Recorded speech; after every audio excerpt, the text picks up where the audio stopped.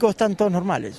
Tienen prevenciones algunos los que están concientizados, pero el que hace su vida diaria no. Mucho pánico, barbijos, o sea, mucho pánico. De hecho, en el avión todos con barbijo. Pues están como que todos alterados, pero muy conscientes y muy responsables. Por la televisión eh, informaban que estaba centralizado más que nada en DF. ¿no? Y bueno, empezamos a darle un poco de, de importancia a eso y querer volver rápido. Sí, hay un poco de, de temor y está, la gente está muy espantada. Pero las autoridades han manejado eh, con mucha tranquilidad también con las especificaciones necesarias. Sí, mucha precaución, sí. Está muy bueno porque tienen mucha precaución.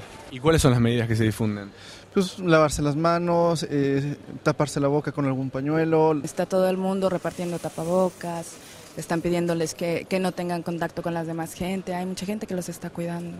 Pues ahorita no sé ahorita este, qué este medidas estén tomando, ahorita se está protegiendo la gente con cubrebocas y todo eso. Lavarse las manos, andar todo el día con tapabocas, no saludar de beso ni de mano.